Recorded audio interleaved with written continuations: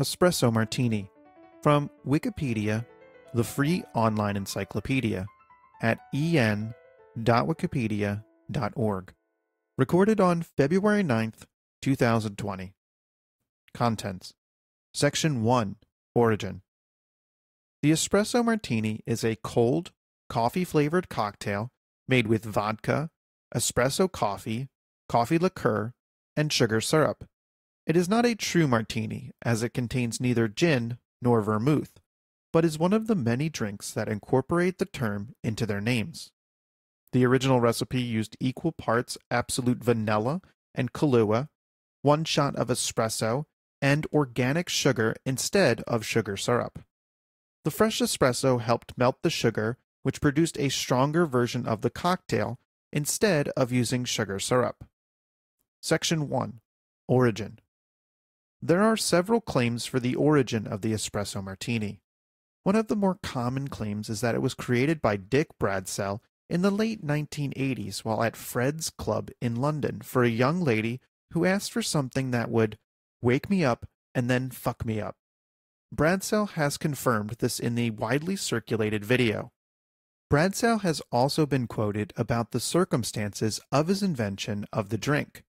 The coffee machine at the Soho Brasseries was right next to the station where I served drinks. It was a nightmare, as there were coffee grounds everywhere. So coffee was very much on my mind.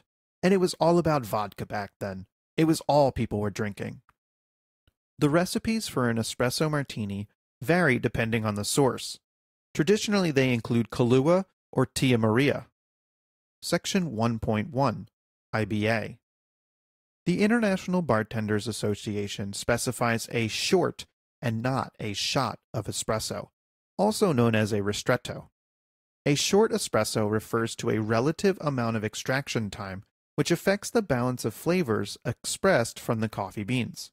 A longer extraction has more bitter and less acid flavors, and the volume is increased. A shorter extraction has less bitter and more acid flavors, and the volume is decreased.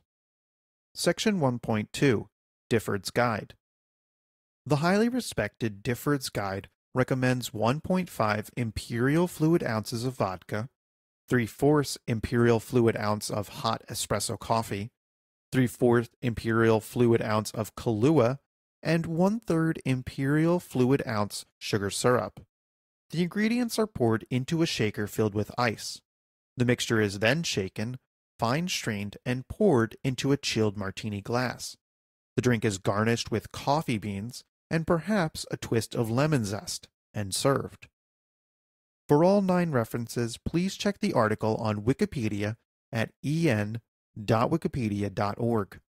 This sound file and all text in the article are licensed under the Creative Commons Attribution Share Alike license, available at creativecommons.org.